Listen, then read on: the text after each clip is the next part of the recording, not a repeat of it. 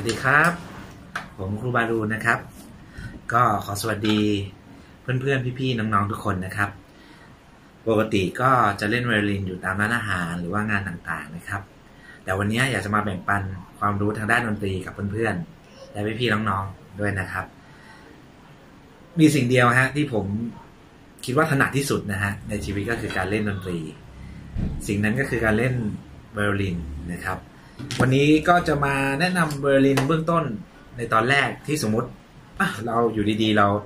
ซื้อไวโอลินมาเลย แล้วเราเจออะไรบ้างนะครับไวโอลินเป็นเครื่องดนตรีคลาสสิกที่มีเสน่ห์ครับ แล้วก็สวยงาม อย่างที่จับอยู่เนี่ยนะฮะก็จะเป็นไวโอลินไม้นะครับ เป็นไวโอลินไม้ที่มีตั้งแต่ดั้งเดิมเลยนะครับ หลักๆเนี่ยก็จะมีสายไวโอลินนะครับ แล้วก็จะมีหยอก นะฮะแล้วก็มีคันชักหรือโบไวโอลินนะครับ การแบ่งปันนี้ผมก็จะพูดแบบแนวชิวๆนะครับ ก็ไม่ไม่ได้มีหลักการอะไรมากมายนะครับกะจะให้เรียนกันแบบสบายๆนะครับ ก็ในช่วงแรกนี้เนี่ย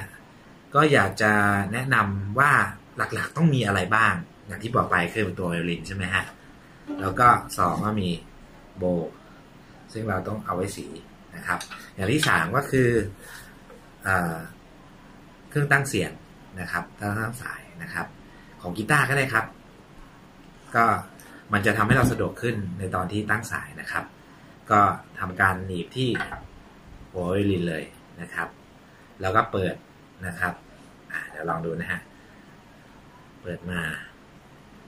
ในการเปิดเนี่ยมันจะมีหลายโหมด อย่างตัวนี้เนี่ยนะฮะจะมีโครมาติก แล้วก็มีกีตาร์นะครับ มีเบส ซึ่งผมแนะนำว่าควรจะเป็นโครมาติกนะฮะ เพราะว่าโครมาติกเนี่ยมันจะตัวนี้มันไม่มีของไวโอลินนะครับ เราก็สามารถที่จะเลือกซื้อมาได้นะครับ ก็สายไวโอลินหลักๆเนี่ยก็จะมีกันอยู่สี่สายนะครับ หลักๆเนี่ยก่อนที่จะเล่นเราก็ต้องตั้งสายใช่ไหมฮะ อ่า อย่างแรกก็คือสายตัวแรกนะครับ สายหนึ่งนะฮะ ก็คือสาย E ตอนนี้ยังไม่ได้ตั้งสายนะครับ ตัวที่สองก็คือสายลา A นะครับ สายที่สามก็คือสาย D สายที่สี่ก็คือสาย G นะฮะ ตอนนี้ไม่ตั้งสายนะฮะแต่แบบสดๆเลยนะฮะ เพิ่งเอามาจากโกดังเลยนะครับผมอะเดี๋ยวลองตั้งสายนะครับนะฮะ ก็จะเป็นสาย A นะฮะ ก็คือสาย 2 เราจะใช้เป็นหลักๆเลยนะครับ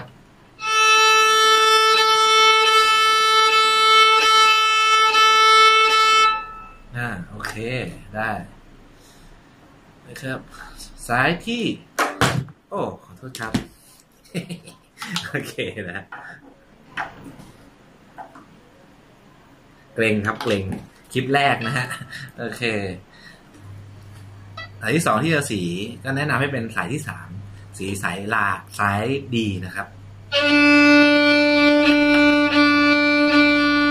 เรียบร้อย ต่อไป สาย G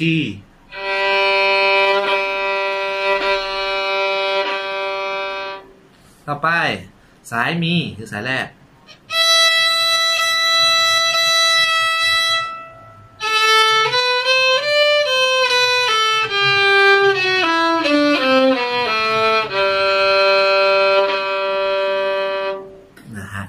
ก็เป็นช่วงแรกของคลิปนี้นะของ ทางเส้นทางนี้นะครับ ที่เราต้องเจอกันต่อไปนะฮะตอนนี้เนี่ยเสียงก็ดีละ ในคลิปหน้าก็จะไปเริ่มการสอนการจับต่างๆนะครับ แล้วก็การสีในขั้นต่อๆไปนะครับ ขอบคุณมากครับ เดี๋ยวไปแล้วฮะ เดี๋ยวเจอกันคลิปหน้าครับผม